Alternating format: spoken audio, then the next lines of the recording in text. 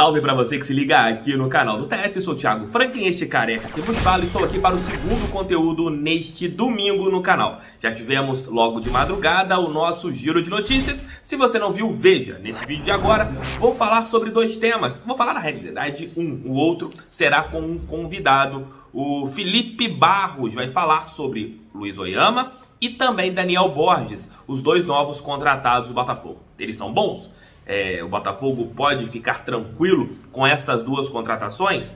Além disso, segundo o GE. Globo, o Marcelo Chamusca ganhou força. Isso meio que reforça uma informação que eu consegui ontem à noite, no começo ali da madrugada. O técnico que estava sob pressão, ele deve ficar no Botafogo, não deve sair até o começo da Série B. Então ele terá a possibilidade de iniciar o seu trabalho. Mas esse nosso vídeo está em nome de One Football, que é parceiro do canal do TF. Se você não tem o um aplicativo instalado no seu celular, baixe, porque você sabe, saberá todas as informações. Começa o Campeonato Brasileiro da Série B na próxima sexta, tem o da Série A Hoje tem a rodada final do campeonato francês. Se você quiser ver o jogo ali, que pode dar o título ao Lille ou também à equipe do PSG, você vai baixar o aplicativo e vai assistir de graça. Isso mesmo, de graça com imagens, não apenas com tempo real. É só você baixar o link que está aqui na descrição.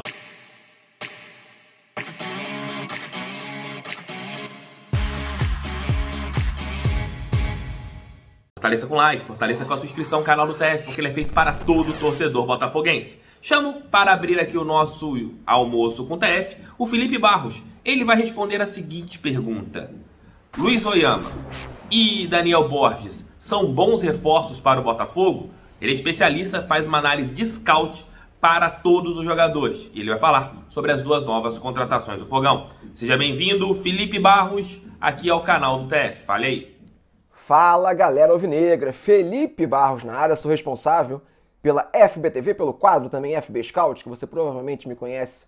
Dali estou a convite do Thiago Franklin para falar um pouquinho sobre Daniel Borges e Luiz Oyama, novas contratações do Botafogo. Vamos lá, para a gente poder ser rapidinho agregar conhecimento à galera. Vou começar pelo Daniel Borges, lateral direito, fez uma ótima Série B em 2020 pelo América, eleito por muitos o melhor defensor direito da última competição, fez um bom paulista também. Em 2021 está definitivamente em ótima fase. O jogador, quem acompanhou a minha videoanálise lá no FB Scout, na FBTV, sobre o atleta, viu que ele tem 33% de acerto nos cruzamentos na atual temporada. Parece que é pouco. Pô, Felipe, o cara acerta um cruzamento a cada três. Pessoal, é uma taxa muito alta. Normalmente no Brasil o pessoal acerta um a cada cinco, a cada quatro cruzamentos. Acertar um a cada três é realmente muito bom, é um cara que tem boa batida na bola, busca pouco o fundo do campo, beleza? É um cara que, como tem boa técnica, boa batida na bola, acaba não buscando tanto o fundo do campo, gosta de cruzar do bico da área, ali da intermediária, poderia melhorar um pouquinho essa questão do fundo do campo. Ele não é um cara muito veloz, um cara muito habilidoso, não sei se vai ser muito a praia dele. Mas o importante para a torcida é que ele acerte o cruzamento, leve perigo ao adversário cruzando. Isso o pessoal pode esperar dele defensivamente. Não é um lateral que compromete, Tá bom? Assim, ele não é um grande marcador, não tem um número de recuperações na posse de bola, por exemplo, muito fora da curva, mas tem ali um número razoável, fica ali com 6, 7, 8 recuperações de bola nas últimas temporadas. É um número bem razoável para a posição, beleza? Não sei se é aquela contratação que vai o pessoal estourar champanhe e tudo mais, mas temos que ser realistas, porque dá para fazer a nível financeiro. Na Série B eu acho que é uma aposta, claro, mas uma aposta interessante. É um cara que subiu como vice-campeão na última temporada e foi muito bem mais uma vez, agora no campeonato estadual, que é o Paulista, que é um campeonato de alto nível técnico. Então acho que é uma boa aposta. O Daniel Borges, como o Thiago Franklin pergunta no quadro, para mim, presta sim. Não sei se ele vai chegar para ser um grande jogador, por exemplo, no ano que vem, caso o Botafogo suba, mas para o contexto Série B, muito boa contratação. Um cara que a princípio chega e assume a lateral direita. Beleza?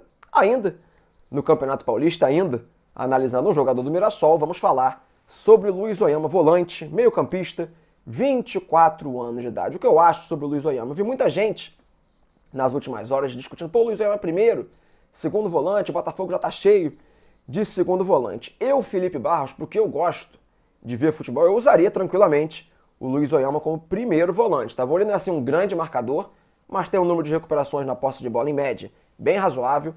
Recuperou bastante bola em 2020, bastante bola em 2021, mostrei isso também lá no meu vídeo. Claro que aquele volante brucutuzão, mais postado, acabaria recuperando mais a bola do que ele, mas ele tem muito mais saída com bola, muito mais qualidade para achar um passe entre linhas, para achar um passe longo. Então eu, Felipe, usaria ele como primeiro volante. Mas conhecendo os treinadores brasileiros, estou falando treinadores de uma maneira assim, não muito clara, porque a gente não sabe o que vai acontecer com o Chamusca, né? qualquer momento ele pode ser demitido. Então na tenden a tendência, se o Botafogo não mantiver o Chamusca, não trouxer um cara que gosta de um futebol muito propositivo, é o, o novo treinador usar como segundo volante. Ele é um cara que faz aquele box-to-box, -box, frequenta até mais a intermediária defensiva do que ofensiva, mas pode tranquilamente jogar chegando no campo de ataque. Eu, Felipe, usaria como primeiro volante, aquele cara mais postado que faz a saída de bola com os zagueiros. Beleza? Mas pode jogar como primeiro ou segundo volante. Fez um ótimo Campeonato Paulista em 2021, assim como o Daniel Bosch. Também jogou bem o Paulistão de 2020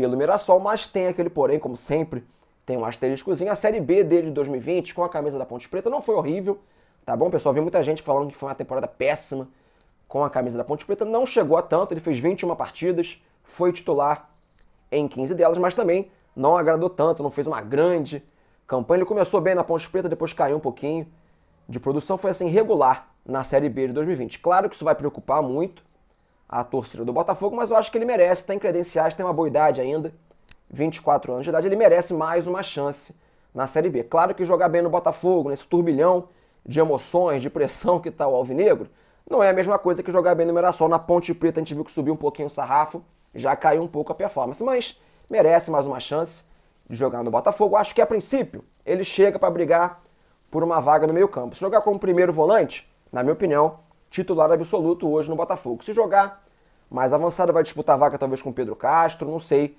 se ele já chega para ser titular.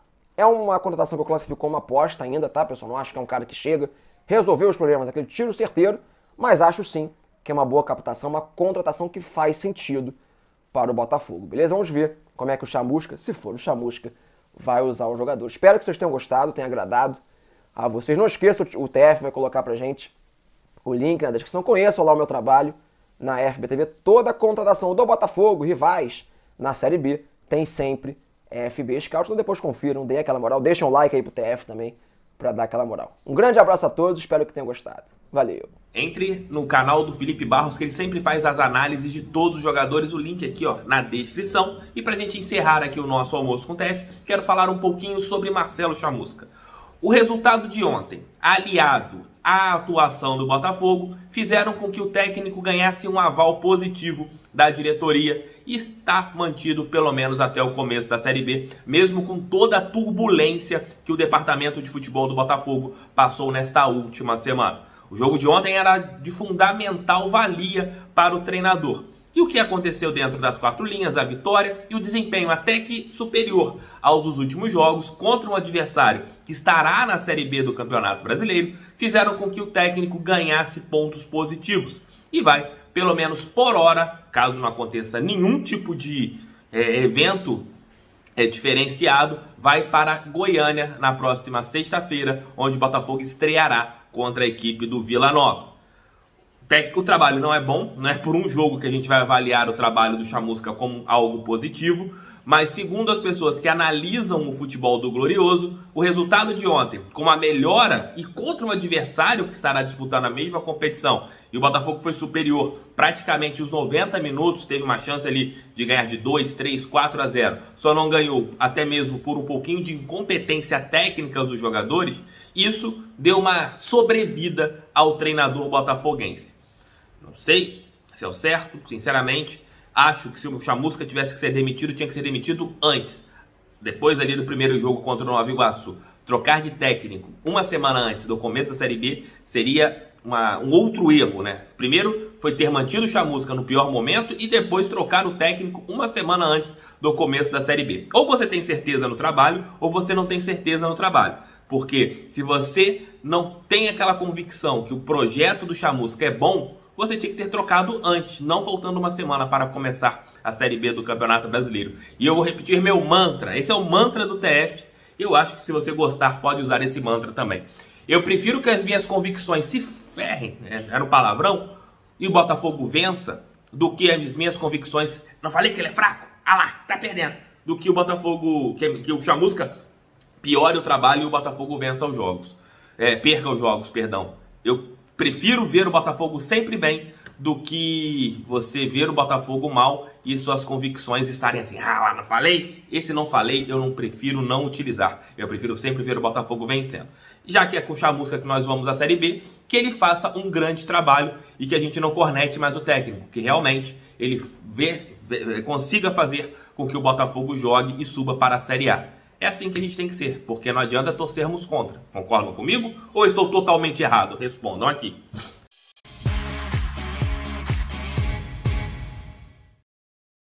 Este foi mais um Almoço com o TF. Valeu, galera. Muito obrigado pelo seu carinho, muito obrigado pela sua audiência. O canal do TF é feito para todo torcedor botafoguense, como vocês que estão aqui acompanhando neste domingão. À noite, às 19 horas, Noite Alvinegra, mais um conteúdo para vocês que curtem este careca que vos falo. Um beijo, tchau, tchau. E fui, fui e fui. Tchau, tchau.